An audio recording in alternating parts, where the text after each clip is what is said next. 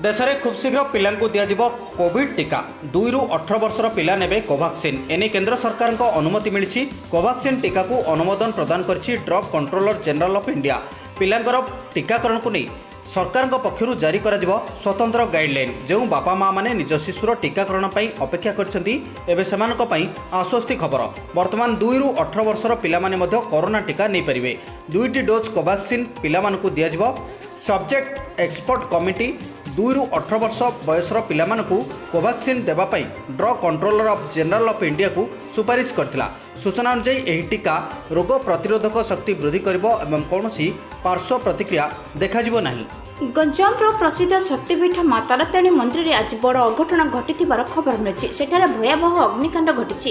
ଦୀପ ଲଗାଇବା ସ୍ଥାନ ବା ଦୀପଗୃହରେ ଲାଗିଛି ନିଆଁ। ଫଳରେ ଦୀପଗୃହ ଭିତରେ ପୋଡ଼ିଯାଇଥିବା ବେଳେ ସବୁ ଦୁଆରବନ୍ଧ କ୍ଷତି ଘଟିଥିବାର ସୂଚନା ମିଳିଛି। ତେବେ ଅଗ୍ନିଶମ ବାହିନୀ ଘଟଣାସ୍ଥଳରେ ପହଞ୍ଚି ନିଆଁକୁ ଆୟତ୍ତ କରିବା ପାଇଁ ଉଦ୍ୟମ ଚଳାଇଛନ୍ତି। ସୂଚନା ମୁତାବକ ସକାଳୁ ସକାଳୁ ଶକ୍ତିପୀଠ ମା ତାରାତାରିଣୀ ମନ୍ଦିରରେ ମହାମାୟୀଙ୍କର ଅଷ୍ଟମୀ ପୂଜା କରାଯାଇଥିଲା ତେବେ ଦୀପଗୃହରେ ରଖାଯାଇଥିବା ଦୀପରୁ ଏଭଳି ଅଗ୍ନିକାଣ୍ଡ ଘଟିଥିବାର କୁହାଯାଇଛି। ମାଙ୍କ କୃପାରୁ ଏକ ବଡ଼ ଅଘଟଣରେ ବର୍ତ୍ତି ଯାଇଥିଲେ ବି ପବିତ୍ର ଶକ୍ତିପୀଠରେ ଅଷ୍ଟମୀ ତିଥିରେ ନିଆଁ ଲାଗିବା ଆଦୌ ଶୁଭଙ୍କର ନୁହେଁ ବୋଲି ପଣ୍ଡିତମାନେ ଚିନ୍ତା ପ୍ରକଟ କରିଛନ୍ତି। ପାଞ୍ଚଶହ ବର୍ଷ ପୁରୁଣା ଜଗତସିଂହପୁର ଜିଲ୍ଲାର ପ୍ରସିଦ୍ଧ ଝଙ୍କଡ଼ବାସିନୀ ମା ଶାରଳାଙ୍କ ମନ୍ଦିର ପରିସରରେ ଆଜିଠାରୁ ଶହେ ଚଉରାଳିଶ ଧାରା ଜାରି କରାଯାଇଛି। ଏହା ଆଗାମୀ ଚଉଦ ତାରିଖ ଯାଏଁ ଲାଗୁ ରହିବ ବୋଲି ଉପଜିଲ୍ଲାପାଳ ଧର୍ମେନ୍ଦ୍ର ମଲ୍ଲିକ ସୂଚନା ଦେଇଛନ୍ତି। ସୂଚନାଯୋଗ୍ୟ ଏଠାରେ ମୂଳାଷ୍ଟମୀଠାରୁ ମହାଷ୍ଟମୀ ଯାଏଁ ଲକ୍ଷାଧିକ ଶ୍ରଦ୍ଧାଳୁଙ୍କର ସମାଗମ ହୋଇଥାଏ। ଏହାକୁ ଆଖି ଆଗରେ ରଖି ଏଭଳି ପଦକ୍ଷେପ ନିଆଯାଇଥିବା କୁହାଯାଇଛି। କରୋନା ମହାମାରୀ ସମୟରେ ଶାରଳାଙ୍କ ମନ୍ଦିରକୁ ନ ଆସିବା ପାଇଁ ପ୍ରଶାସନ ପକ୍ଷରୁ ଅନୁରୋଧ କରାଯାଇଛି। ଏଣେ ଏହି ମନ୍ଦିରର ରକ୍ଷଣାବେକ୍ଷଣ ପ୍ରତି ଧ୍ୟାନ ଦିଆଯାଉନଥିବା ହେତୁ ଅସନ୍ତୋଷ ପ୍ରକାଶ ପାଇଛି। ଚାରି ବର୍ଷରୁ ଉର୍ଦ୍ଧ୍ୱ ହେବ ମାଙ୍କ ମନ୍ଦିରର କିଛି ଅଂଶ ରଙ୍ଗକୁ ସଫା କରାଯାଇ ଅଧପନ୍ତରିଆ ଅବସ୍ଥାରେ ଛାଡ଼ି ଦିଆଯାଇଛି। ଖରା ବର୍ଷାରେ ପଥରଗୁଡ଼ିକ ଦୁର୍ବଳ ହେଉଛି ଯାହାକୁ ନେଇ ମନ୍ଦିର ସେବାୟତମାନେ ପ୍ରଶ୍ନ ଉଠାଇଛନ୍ତି। ଗଞ୍ଜାମ ଜିଲ୍ଲା ଜଗନ୍ନାଥ ପ୍ରସାଦ ଥାନା ଅନ୍ତର୍ଗତ ମଳିଙ୍ଗ ଗାଁ ନିକଟରେ ଜଘନ୍ୟ ହତ୍ୟାକାଣ୍ଡ। ହତ୍ୟାକାରୀମାନେ ଯୁବକକୁ ହତ୍ୟା କରି ମାଟି ତଳେ ପୋତି ଦେଇଥିଲେ। ମୃତ ଯୁବକ ଜଣକ ନିକଟସ୍ଥ ସୁଗମ ଗ୍ରାମର ମାଧବ ନାୟକ। ସମ୍ପର୍କୀୟ ଭାଉଜ ସହ ସମ୍ପର୍କକୁ କେନ୍ଦ୍ର କରି ସମ୍ପର୍କୀୟ ଦୁଇ ଭାଇ ଓ କିଛି ସହଯୋଗୀ ଏହି ହତ୍ୟାକାଣ୍ଡ ଘଟାଇଥିବାର କୁହାଯାଇଛି। ଜଣେ ଅଭିଯୁକ୍ତ ଯିଏକି ସମ୍ପର୍କୀୟ ଭାଇ ନିଜେ ଜଗନ୍ନାଥ ପ୍ରସାଦ ଥାନା ପୋଲିସ ପାଖରେ ଆତ୍ମସମର୍ପଣ କରି ହତ୍ୟାକାଣ୍ଡ ବିଷୟରେ କହିଛି। ଅଭିଯୁକ୍ତକୁ ନେଇ ପୋଲିସ ମଳିଙ୍ଗ ଗାଁ ନିକଟ କାଜୁ ଜଙ୍ଗଲରେ ପୋତା ଶୋଇଥିବା ଗଳିତ ମୃତଦେହକୁ ଜବତ କରିଛି। ଏନେଇ ଅନ୍ୟ ଅଭିଯୁକ୍ତଙ୍କୁ ଧରିବା ପାଇଁ ପୋଲିସ ଚଢ଼ାଉ ଆରମ୍ଭ କରିଛି।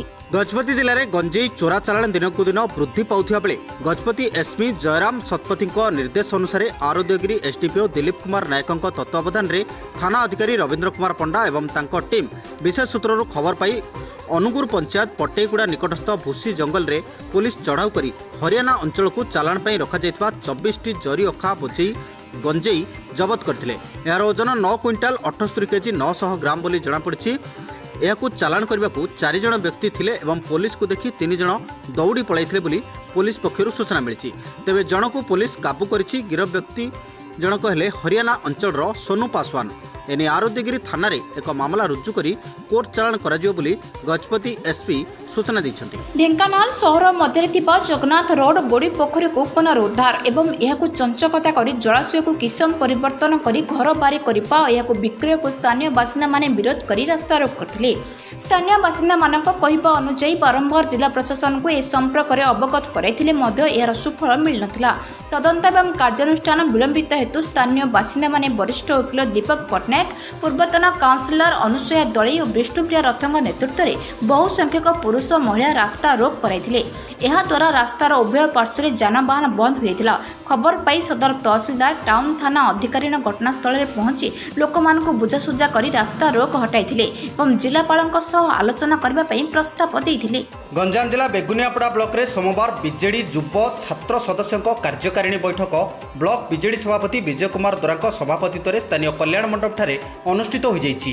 ଏଥିରେ ଆସିକା ସାଂସଦ ପ୍ରମିଳା ବିଷୋୟୀ କବିସୂର୍ଯ୍ୟନଗର ବିଧାୟିକା ଲତିକା ପ୍ରଧାନ ଜିଲ୍ଲା ବିଜେଡି ଛାତ୍ର ସଭାପତି ପ୍ରଶାନ୍ତ ପଣ୍ଡା ଉପସଭାପତି ଲିଙ୍ଗରାଜ ମହାପାତ୍ର ଜିଲ୍ଲା ମହିଳା ସଭାପତି ସଂଘମିତ୍ରା ଦଳାଇ ଜିଲ୍ଲା ପରିଷଦ ସଦସ୍ୟ ମନୋଜ କୁମାର ପାଣ୍ଡି ବ୍ଲକ ଯୁବ ସଭାପତି ସତୀଶ କୁମାର ତାରିଣୀ ଡିଜିଟାଲ ସମ୍ପାଦକ ଶିବରାମ ମାଝୀ ଛାତ୍ର ଡିଜିଟାଲ ସମ୍ପାଦକ କାହ୍ନୁଚରଣ ପଣ୍ଡା ପ୍ରମୁଖ ଯୋଗଦେଇ ବିଜୁ ଜନତା ଦଳର ଆଭିମୁଖ୍ୟ ସଂଗଠନ ଏବଂ ଆଗାମୀ ନିର୍ବାଚନରେ ଯୁବ ଓ ଛାତ୍ରର ଭୂମିକା ବିଷୟରେ ଆଲୋଚନା କରିବା ସହ ଯୁବ ଓ ଛାତ୍ର ରାଜନୀତିରେ ସାମିଲ ହେଲେ ଉତ୍ତମ ସରକାର ଓ ଯୋଜନାର ସଫଳ ରୂପାୟନ ହୋଇପାରିବ ବୋଲି ମତବ୍ୟକ୍ତ କରିଥିଲେ। ଏଥିରେ ବିଜେଡି ଯୁବ ଓ ଛାତ୍ରର ସମସ୍ତ ସଦସ୍ୟ ପଞ୍ଚାୟତ ପ୍ରତିନିଧି ଓ କର୍ମକର୍ତ୍ତାମାନେ ଉପସ୍ଥିତ ରହିଥିଲେ। ଗଜପତି ଜିଲ୍ଲାର ଉଦୟଗିରି ଖଣ୍ଡର କେଏମ୍ ଭାଲିଆ ସାହିଠାରେ ରାଷ୍ଟ୍ରୀୟ ସ୍ୱୟଂସେବକ ସଂଘର ବିଜୟ ଦଶମୀ ଉତ୍ସବ ପାଳନ କରାଯାଇଛି। ମୁଖ୍ୟ ଅତିଥି ଆଦିକନ୍ଦ ମାଣୁଆରାଇ ଓ ମୁଖ୍ୟ ବକ୍ତା ଗଞ୍ଜାମ ବିଭାଗ ପ୍ରଚାରକ ଶାନ୍ତନୁ ମାଝୀ ଉତ୍ସବରେ ଯୋଗଦେଇ ନାରୀର ମର୍ଯ୍ୟାଦା ଉପରେ ବକ୍ତବ୍ୟ ରଖିଥିଲେ। ଗଜପତି ଜିଲ୍ଲା କାର୍ଯ୍ୟକର୍ତ୍ତା ଅମୂଲ୍ୟ କୁମାର ପାତ୍ର ଅଶୋକ ଭାଇ ଜୁରିଆ ଭାଇ ଗୋପାଳ ଭାଇ ନରେନ୍ଦ୍ର ଭାଇ ତଥା ପ୍ରତ୍ୟେକ ଗ୍ରାମର ସ୍ୱୟଂସେବକ ଓ ସାଧୁସନ୍ଥମାନେ ଉପସ୍ଥିତ ଥିଲେ। ମା ଦୁର୍ଗାଙ୍କ ପବିତ୍ର ପୂଜା ଏବେ ମହାସମାରୋହରେ ଚାଲିଛି। ଜୁନାଗଡ଼ ସହରର ବିଭିନ୍ନ ସ୍ଥାନରେ ମାଙ୍କ ପୂଜା ଚାଲିଛି। ପୂଜାରୀ ବିଭିନ୍ନ ମନ୍ତ୍ର ଜପ କରି ମାଙ୍କୁ ପୂଜା କରୁଛନ୍ତି। ଚଣ୍ଡୀପାଠ ମାଙ୍କ ପାଖରେ ଚାଲିଛି। କର୍ତ୍ତା ମାଙ୍କୁ ବହୁତ ଖୁସି ମନରେ ପୂଜା କରୁଛି। ଧୂପ ଦୀପରେ ମାଙ୍କ ଜାଗାଟି ଚହଟୁଛି। ମାଙ୍କ ପାଖରେ ଭକ୍ତମାନେ ରହି ମାଙ୍କ ପୂଜା ଦେଖୁଛନ୍ତି। କୋଭିଡ ନିୟମ ଅନୁସାରେ ପୂଜା ପାଳନ କରାଯାଉଛି। ପ୍ରସାଦର ମଧ୍ୟ ବ୍ୟବସ୍ଥା ହୋଇଛି। ମା ଦୁର୍ଗାଙ୍କ ପ୍ରସାଦ ପାଇବା ପାଇଁ ଭକ୍ତ ଆତୁର ସହ ଚାହିଁ ବସିଛି। ଜୁନାଗଡ଼ ସହରର ଲଙ୍କେଶ୍ୱରୀ କ୍ଲବର ସମସ୍ତ କର୍ମକର୍ତ୍ତା ମାଙ୍କ ପାଖରେ ରହି ସମସ୍ତ କାର୍ଯ୍ୟ ସୁରୁଖୁରୁରେ କରୁଛନ୍ତି ଏବଂ ନାଦୁଲ ପଞ୍ଚାୟତର ସମସ୍ତ ଗାଁ କମିଟି ମଧ୍ୟ ପୂଜାର ସମସ୍ତ କାର୍ଯ୍ୟ ସୁରୁଖୁରୁରେ କରିଚାଲିଛନ୍ତି। ଚାନ୍ଦବାଲି ଥାନା ପକ୍ଷରୁ ତିନୋଟି ଗୋରୁ ଗାଡ଼ିକୁ ଜବତ କରାଯାଇଛି। ଚାନ୍ଦବାଲି ଥାନା ତାରିଣୀ ଛକ ନିକଟରୁ ବିଳମ୍ବିତ ରାତିରେ ପୋଲିସ ନାଇଟ୍ ପେଟ୍ରୋଲିଂ ଟିମ୍ ତିନୋଟି ଗୋରୁ ବୋଝେଇ ଗାଡ଼ି ସହ ଉଣେଇଶ ଗୋରୁକୁ ଜବତ କରିଛି। ଏହି ଘଟଣାରେ ସମ୍ପୃକ୍ତି ନେଇ ତିନି ଜଣ ଗୋରୁ ବେପାରୀଙ୍କୁ ପୋଲିସ ଅଟକ ରଖିଛି। ଚାନ୍ଦବାଲି ବଜରଙ୍ଗ ଦଳ ଗୋସେବା ସମିତି ପକ୍ଷରୁ ବାରମ୍ବାର ଗୋଚାଳନା ଉପରେ ରୋକ ଲଗାଇବା ପାଇଁ ଅଭିଯୋଗ ହୋଇ ଆସୁଛି। ଏଥିନେଇ ଚାନ୍ଦବାଲି ପୋଲିସ ସହ ପ୍ରାନ୍ତରେ ତାରିଣୀ ଛକ ନିକଟରେ ଗୋରୁ ଗାଡ଼ିକୁ ଠାବ କରିବା ସହ ଜବତ କରିଥିଲେ।